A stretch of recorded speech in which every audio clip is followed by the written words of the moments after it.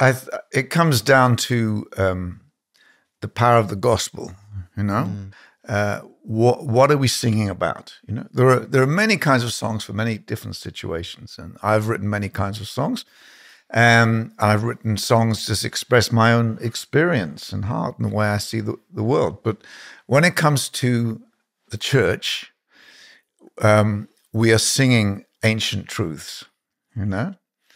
Um, and one of the songwriter's jobs, I think, is to take ancient truths and make and, and make them fresh. Not to change the truth, but um, uh, culture changes, so we need to change the way that we express.